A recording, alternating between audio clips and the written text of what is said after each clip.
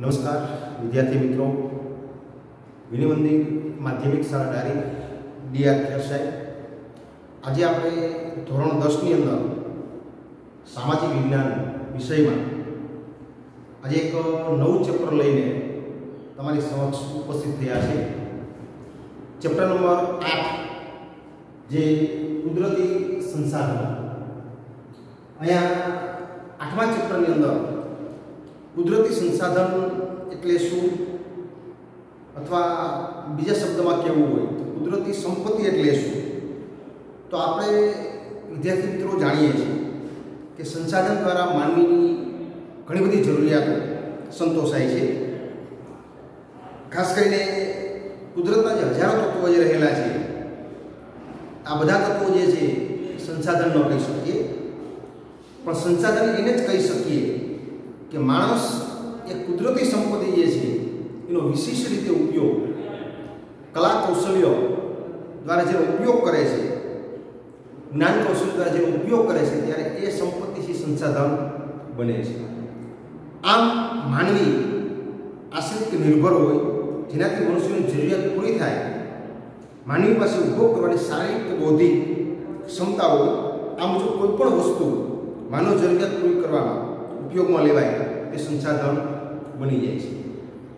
ઉદાહરણ તરીકે પ્રાચીન સમયની અંદર જમીનમાં દટાયેલા જે ખનિજો જે છે, એને માણસને ખનિજોની જાણકારી ન હતી એ સંપત્તિ ખરી સંસાધન ન બન્યું. પણ સમય સાથે ખોદકામ કર્યા પછી, ખનન કર્યા પછી એમાંથી અવનવા ખનિજો મળ્યા છે. એ ખનિજો માણસને ઉપયોગી બન્યા છે. ત્યારે એ ખનિજો જે છે, એ કુદરતી સંસાધન આપણે કહી શકીએ. આમ કુદરત સંસાધનની ઉપયોગિતા ને કાર્ય કરવાની ક્ષમતા અથવા યોગ્યતા, ગુણધર્મો હોવા જરૂરી છે. કુદરત, માનવ, કુદરતી સંસ્કૃતિ ત્રણેય પરસ્પર ક્રિયા દ્વારા જ સંસાધન બને છે. વિદ્યાર્થી મિત્રો, ફરી વખત, કુદરતી સંસાધન ક્યારે બને? તેમાં ત્રણ પરિબળોની વાત કરીએ તો કુદરત, બીજો માનવ અને ત્રીજું કીધું છે સંસ્કૃતિ. આ ત્રણેયનો સુમેળ સરવાળો ત્યારે કોઈ સંસાધન બને છે. હવે સંસાધનનો ઉપયોગ એ પછીનો મુદ્દો આવે છે.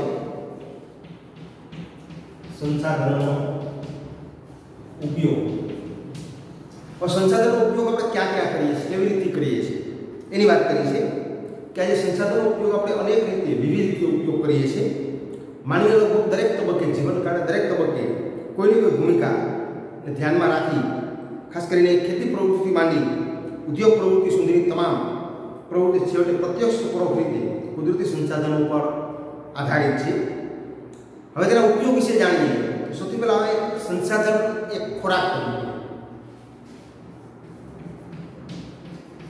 સંસાધન ખોરાક આ પહેલો મુદ્દો આવે છે. કે આપણે જે ખોરાક લઈએ છીએ, એમાં કેવા કુદરતી સંસાધનો છે એની વાત કરી છે? કે માનવીની આજે ખોરાકની જરૂરિયાતો જે છે, એ વિવિધ સંસાધનો દ્વારા જે પૂરી કરવામાં આવે છે. એમાં ફળો, ખેતી દ્વારા સંપડતા વિવિધ ખાદ્ય પાકો, પાલતુ પ્રાણીઓ દ્વારા પ્રાપ્ત દૂધ, દૂધની બનાવટો, માંસ, જળાશયોથી મળતા માછલાઓ, અન્ય જળચર, મધમાખી દ્વારા મધ વગેરે ખાદ્ય સામગ્રી જે આપણે ઉપયોગમાં લઈએ છીએ, એક સંસાધનનો એક ભાગ કહી શકીએ આપણે. ત્યાર પછી સંસાધને કાચા માલના સ્ત્રોત તરીકે. સંસાધન કાચા માલ સ્ત્રોત તરીકે આપણે ઉપયોગ કરીએ છીએ. જંગલમાંથી પ્રાપ્ત થતા વિવિધ જે ખનિજો જે છે જે ચીજો ખેતી દ્વારા ઉપલબ્ધ થતી સામગ્રી, પાલતુ પશુઓ પ્રાણીઓ ઊન, ચામડું, માંસ, ખનિજ, અયસ વગેરે ચીજો ઉપયોગ, એ કાચો માલ પણ મોટા ભાગે બને છે. સંસાધન એક શક્તિના સાધન તરીકે, ત્રીજો મુદ્દો કીધો છે. સંસાધન શક્તિના સાધન તરીકે. આ ત્રીજો મુદ્દો છે. ઘણા, ખાસ કરીને જે આપણે કહીએ છીએ કે ભાઈ શક્તિનો સ્ત્રોત જેને આપણે કહીએ છીએ. તો એમાં કોલસો, પેટ્રોલિયમ, કુદરતી વાયુ જે ઈંધણ તરીકે જે આપણે ઉદ્યોગમાં, ઘર વપરાશમાં, બળતણ તરીકે આપણે વાપરીએ છીએ એ શક્તિનો સ્ત્રોત કહીએ છીએ. આપણે સૂર્યપ્રકાશ પવન, સમુદ્ર મોજા, ભરતી ઓટ જળધોધ વગેરે થકી ઊર્જા પ્રાપ્ત પણ કરી શકીએ છીએ. આ સંસાધનના ઉપયોગોને આપણે ત્રણ રીતે સમજવાનો પ્રયત્ન કર્યો છે. એક ખોરાક તરીકે, એક ઉદ્યોગના કાચા માલ તરીકે અને ત્રીજો એક શક્તિના સ્ત્રોત તરીકે, શક્તિના સંસાધન, તો શક્તિનો એક સ્ત્રોત તરીકે જેનો ઉપયોગ કરીએ છીએ. ત્યાર પછી આવે છે ખાસ કરીને સંસાધનના પ્રકાર.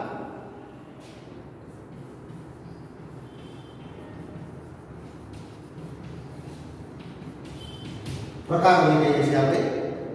સંસાધનના પ્રકારો નીચે મુજબ વર્ગીકૃત કરવામાં આવ્યા છે. એક, માલિકીના આધારે. બે, પુનઃપ્રાપ્તિના આધારે. ત્રણ, વિતરણને આધારે. અહીંયા પેલો કયો પ્રકાર? માલિકીના આધારે.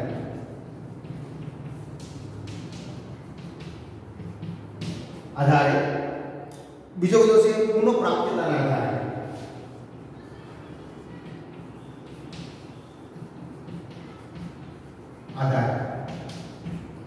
ત્રીજો કીધો છે, વિતરણ ક્ષેત્રના આધારે.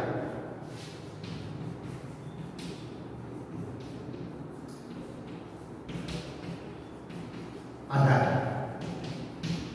આ ત્રણ જે સંસાધનના પ્રકારો કહીશું આપણે? અહીંયા માલિકીની દ્રષ્ટિએ જોઈએ, તો પેલું કીધું છે વ્યક્તિગત સંસાધન. કોઈ પણ વ્યક્તિ કે પરિવારની માલિકી હોય છે, અને ઉદાહરણ તરીકે જમીન, મકાન વગેરે. બીજું રાષ્ટ્રીય સંસાધન કોઈ પણ દેશ કે પ્રદેશનું સાર્વજનિક સંપત્તિ હોય છે, જેમ કે લશ્કર, આંતરરાષ્ટ્રીય વેપાર અને ત્રીજું વૈશ્વિક સંસાધન જેને આપણે કહીએ છીએ. કે જે સમગ્ર દુનિયાની ભૌતિક અને અભૌતિક એવી તમામ સંપત્તિનો જેનો ઉપયોગ માનવ કલ્યાણ માટે થતો હોય, તેને આપણે વૈશ્વિક સંસાધન કહેશું. આ વિશ્વના બધા રાષ્ટ્રોની સહિયારી માલિકીનું સંસાધન જેને આપણે કહી શકીશું. સંસાધનના વિતરણના આધારે પ્રકાર પાડવામાં આવ્યા છે. તો સૌથી પહેલો પ્રકાર કીધો છે વિતરણ ક્ષેત્રમાં સર્વ સુલભ સંસાધન, જેમ વાતાવરણમાં રહેલા ઉપયોગી વાયુ, ઓક્સિજન અને નાઇટ્રોજન, ઉદાહરણ તરીકે, બે સામાન્ય સુલભ સંસાધન સામાન્યપણે મળે તેવા કીધા છે, ભૂમિ, જમીન, જળ, ગોચર. ત્રીજું, વિરલ સંસાધન જેને આપણે કહીએ છીએ, કિંમતી સંસાધન જેને આપણે કહીએ છીએ, જેના પ્રાપ્તિ સ્થાનો મર્યાદિત હોય, એવા ખનિજોની વાત કરી છે, દાખલા તરીકે પેટ્રોલ કોલસો, તાંબુ, સોનું, યુરેનિયમ વગેરે જેવા ખનિજો કીધા છે. એને આપણે વિરલ સંસાધન કહેશું કિંમતી સંસાધન આપણે કહેશું. અને છેલ્લો પ્રકાર પાડ્યો છે, એકલ સંસાધન. દુનિયાના ભાગ્યે જ એકાદ દેશ સ્થળે મળી આવતા ખનિજોને આપણે ખાસ કરીને એકલ સંસાધન કહેશું. ખાસ કરીને વિશ્વના જે ગણ્યા ગાંઠ્યા, એકાદ બે રાષ્ટ્રોમાં જ આ ખનિજો મળી આવે છે. એવા ખનિજો કયા? તો ક્રાયોલાઇટ ખનિજ જે માત્ર ગ્રીનલેન્ડમાંથી જ મળી આવે છે. વિશ્વનો એક જ એવો દેશ છે. ગ્રીનલેન્ડ જ્યાં ક્રાયોલાઇટ નામનું ખનિજ એક જ વિશ્વના એક જ દેશ પાસેથી મળી આવે અને આપણે એકલ દોકલ સંસાધન પણ આપણે કહેશું. આમ કોષ્ટકમાં જોઈ અને આપણે બે પ્રકારની વિગતો આપણે સમજ્યા છે. સંસાધન અન્ય રીતે વિભાગો પાડી શકીએ. જેમાં નવીનીકરણ અને અનવીનીકરણ એમ બે ભાગમાં પણ સંસાધનને આપણે વહેંચી શકીએ છીએ. કેટલાક સંસાધનો પોતાની મેળે ચોક્કસ સમયમાં વપરાશી હિંસી, હિંસાની પૂર્તિ કરે અથવા અખૂટ હોય છે. જંગલો, સૂર્યપ્રકાશ, પશુ, પક્ષી વગેરે આ વર્ગમાં આવે છે. જે તેને નવીનીકરણ સંસાધનો આપણે કહેશું. જ્યારે અનવીનીકરણ સંસાધનો એવા છે કે જે સંસાધનો એકવાર વાપર્યા પછી પુનઃ ઉપયોગમાં લઈ શકતા આપણે નથી. ફરી બનાવી શકતા આપણે નથી. નજીકના ભવિષ્યમાં તેનું પુનઃનિર્માણ અશક્ય બને છે.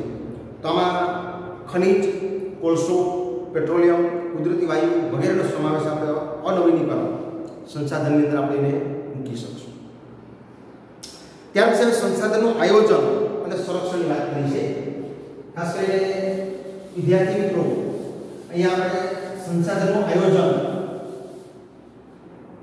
અને સંરક્ષણ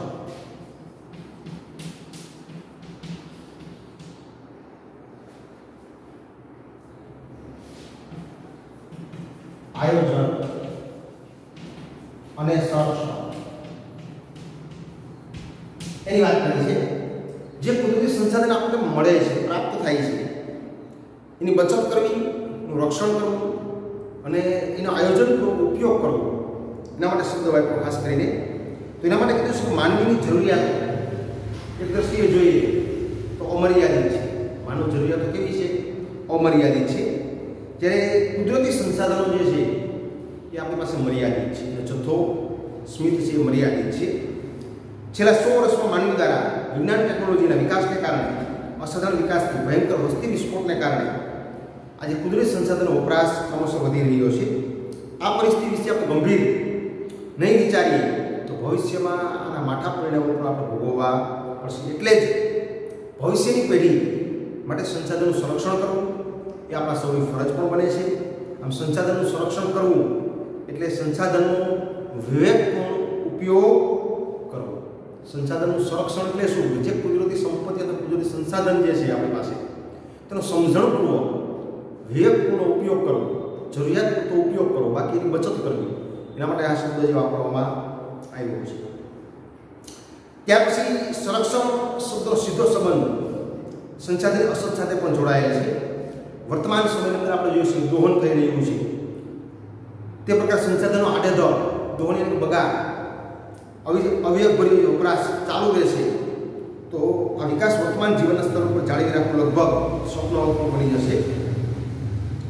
માટે વિયોગપૂર્ણ તેનો ઉપયોગ કરવો સંસાધનો સંરક્ષણ પુનઃઉપયોગ જેવી બાબતો સમાવિષ્ટ છે જ્યારે કોઈ વૃક્ષ કે જીવન અસ્તિત્વ સંકટ હોય, ત્યારે તે માટે ગોઠવેલ વ્યવસ્થાપનને આપણે સંરક્ષણ પણ કહીશું. હવે સંસાધનના આયોજન અને સંરક્ષણ માટે કઈ બાબતો ધ્યાનમાં રાખવી એની વિગતે આપણે સમજીએ જે સંસાધનો આપણી પાસે છે, કુદરતી સંસાધનો, એને સંરક્ષણ માટે આયોજન માટે કઈ કઈ કાળજી રાખવી આપણે, તેની વાત કરી છે સૌથી પહેલાં તો કોઈ પણ પ્રદેશ કે વિસ્તારમાં એકમ ગણી ઉપયોગમાં લેવાયેલા જો ઘણો વપરાય, સંભવિત સંસાધન ઉપલબ્ધિની જાણકારી મેળવવી. બીજું સંસાધનનું પ્રમાણ મર્યાદિત અનવીનીકરણ ક્ષેત્રો વૈજ્ઞાનિક ઢબે દોહન થતું, દોહન કરવું જોઈએ. તેનો વપરાશ અનિવાર્ય હોય ત્યાં જ કરવું જોઈએ. સંસાધનોની માત્રા વધારી શકાય આવા પ્રયત્નો કરવા જોઈએ. સંસાધનો વર્તમાનમાં સુંગા અને સહજ ઉપલબ્ધ હોવા છતાં વેડફવાને બદલે ભાવિ પેઢીની જરૂરિયાતને ધ્યાનમાં રાખી આવા સંસાધનોની પરકસર કરવી અથવા એની જાળવણી કરવી. જે મર્યાદિત માત્રામાં ઉપલબ્ધ જે સંસાધનો જે છે, એને જાળવી રાખવા, ટેકનોલોજીનો વિકાસ દ્વારા વૈકલ્પિક સ્ત્રોત શોધ કરવી લાંબા ગાળાના ફાયદાઓ પણ થાય છે. સંસાધન સંરક્ષણ માટે તંત્ર દ્વારા જરૂરી કાયદાઓ, નિયમો બનાવવા તેનો અમલ કરાવવો આ સિવાય નાગરિકોએ સંસાધનો, વિવેકનો ઉપયોગ સાથે જોડાયેલી તમામ બાબતો જે છે, એનાથી લોકોને વાકેફ કરવા, જનજાગૃતિ કેળવવી એ પણ જરૂરી છે. તો અહીંયા વિદ્યાર્થી મિત્રો, સંસાધનો આયોજન, સંરક્ષણ માટે આપણે વિદ્યાર્થી તરીકે કઈ કઈ કાળજી લેવી, એની વાત કરવામાં આવી છે. તો અહીંયા જે કુદરતી સંસાધન જે છે, એ જરૂરી પૂરતો ઉપયોગ કરવો, બિનજરૂરીનો બગાડ ન કરવો, વેડફવું ઘણા કુદરતી સંસાધનો સ્ત્રોત એવા છે આપણી પાસે કે જે અખૂટ છે ભંડારો આપણી પાસે, જે ખૂટતા નથી. કેટલાક ખનીજો કેટલાક સંસાધનો એવા છે કે જેને એની માત્રા જે છે, જથ્થો જે છે, એ મર્યાદિત છે આપણી પાસે. તો આવો જથ્થો જે મર્યાદિત જે છે, એનો કરકસરપૂર્વક ઉપયોગ કરવો જરૂરિયાત ઉપયોગ કરવો, આપણે એક બચત કહી શકીએ. ત્યાર પછી આવે છે જમીન નિર્માણ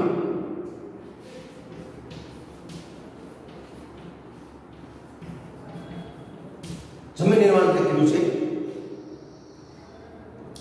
તો જમીન નિર્માણ સામાન્ય રીતે ભૂસપાટી ઉપલું પળ સ્તર જ્યાં વનસ્પતિ ઉગે છે, જેને આપણે જમીન તરીકે આપણે ઓળખીએ છીએ. વિદ્યાર્થી મિત્રો, આ શબ્દ આપણા માટે નવો નથી. જમીન એટલે શું? તો પૃથ્વી સપાટી ઉપર ઉપરનું જે પળ સ્તર જ્યાં વનસ્પતિ ઉગે છે અને મોટાભાગે આપણે જમીન કહેશું. જમીન પૃથ્વીના પોપડા ઉપર અનેક કણોથી જમીન બનેલી છે. એક પાતળું પડ હોય છે, જેમાં ખનિજો હોય છે, ભેજ હોય છે, ધુમ્મસ, સેન્દ્રિય તત્વો, હવા વગેરે એમાં ભરેલા હોય છે જમીનની અંદર. માટી નીચે મૂળ ખડક સ્તર આવેલા હોય છે. જમીન નિર્માણનું મૂળ ખડકનું ખમાણ અથવા ધોવાણથી મળતા પદાર્થો પણ થાય છે. જૈવિક અવશેષો ભેજ, હવા ભળે છે. અન્ય રીતે કહીએ તો જમીન, ખનિજો જૈવિક તત્વો કુદરતી મિશ્રણ પણ છે.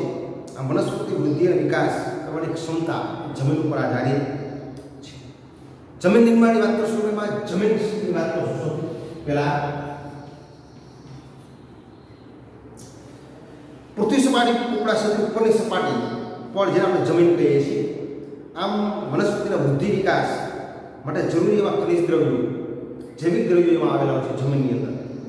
એનું પ્રમાણ બધી જમીનમાં એક સરખું હોતું નથી. આમ જમીનમાં રહેલા સેન્દ્રિય પદાર્થો ઝીણા કણો પોચા કડક પદાર્થો અર્થાત કુપુષ્ટ ઉપરનું માથું કડક વનસ્પતિ દ્રવ્ય મિશ્રણથી બનતા અંગ અસંગઠિત પદાર્થનું પળ કે સપાટી મૂળ, ખડકનું ઘસારણ અથવા ધોવાણ પરિબળો તોડીને બારીક ભૂકો બનાવે છે. આ ભૂકા કે ચૂર્ણમાં વનસ્પતિ જીવજંતુ વિઘટન સળવાથી બનેલા સેન્દ્રિય તત્વો એમાં ઉમેરાય છે. આમ સેન્દ્રિય તત્વો એ વનસ્પતિ વિકાસમાં મહત્વની ભૂમિકા પણ ભજવે છે. જમીનમાં સમયગાળા સંદર્ભમાં જે બાબત આબોહવા અસર લાંબા સમયનો એક જ પ્રકારની હોય છે. આબોહવાળા પ્રદેશમાં વિભિન્ન ખડકોમાંથી બનતી જમીન લાંબા સમય સુધી એક જ પ્રકારની હોય છે. એટલે કે એક જ પ્રકારની માતૃ ખડકોથી ભિન્ન ભિન્ન આબોહવા અને જમીન અલગ અલગ પ્રકારની હોય છે જમીનના પ્રકારો તેના રંગને આધારે, આબોહવાને આધારે માતૃ ખડક કણ રચના, ફળદ્રુપતા જે બાબતો ધ્યાનમાં રાખી એના જમીનના પ્રકારો પણ પાડવામાં આવે છે. ભારત ખેતી પ્રધાન દેશ છે. ખેતી પ્રધાન દેશની અંદર એ કૃષિ એક મહત્વનો ભારતના લોકોનો મુખ્ય વ્યવસાય કીધો છે, મુખ્ય રોજગારી આપતા કીધો છે. એટલે જમીનની અંદર અથવા જમીનની જેટલી ફળદ્રુપતા એવું જમીનમાંથી સારો પાક લઈ શકાય, સારું ઉત્પાદન લઈ શકાય. ખેતી પ્રધાન દેશની અંદર આજે દેશના લગભગ સાઠથી બાસઠ ટકા લોકો ખેતી ઉપર નભે છે. તો કોઈ પણ પાક માટે મહત્વનો આધારભૂત પરિબળ હોય એ જમીન છે. તો આજે આપણે કોઈ પણ કૃષિ પાક અથવા કોઈ પણ જે પાક વાવીએ છીએ આપણે ભારતના અલગ અલગ રાજ્યોની જે વાત કરીએ આપણે, તો કોઈને કોઈ રાજ્ય કોઈને કોઈ પાક માટે જાણીતું છે?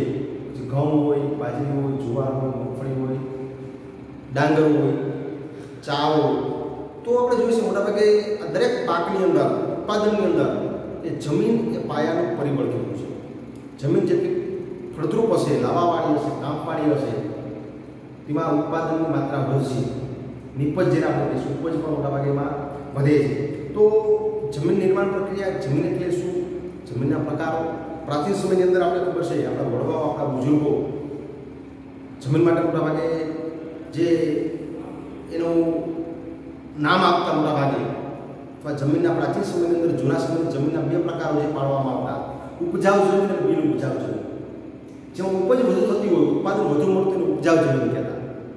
જેમાં ઉત્પાદન ઓછું મળે, ઉપજ ઓછી મળે, તેને બિન ઉપજાવ એટલે આ એક જૂની પ્રણાલી મુજબ જમીનના જે પ્રકારો હતા, પણ જે વર્તમાન સમયની અંદર જે જમીનના જે પ્રકારો પાડવામાં આવ્યા છે, એ માટીના રંગને આધારે પાડવામાં આવ્યા છે, આબોહવાને આધારે પાડવામાં આવ્યા છે, જમીનની કણ રચનાના આધારે પાડવામાં આવ્યા છે, જમીન ઉપરનું પડ જે સ્તર એને આધારે જે પાડવામાં આવ્યા છે. તો આના આધારે જમીનના જે કમસે કમ આઠ પ્રકારો જે અહીંયા દર્શાવવામાં આવ્યા છે. તો ભારત એક પ્રધાન દેશની અંદર જોઈએ. તો એક જમીન, એક મહત્ત્વનું કુદરતી સંસાધન. કુદરત તરફથી મળેલી આપણે એક અમૂલ્ય ભેટ છે. આવું પણ આપણે કહી શકીએ. ભારતના અનુસંધાનમાં જમીન એક મહત્ત્વનું અથવા આગવું પરિબળ પણ ખેત ઉત્પાદન માટે મહત્ત્વનું ગણી શકીએ છીએ. અસ્તુ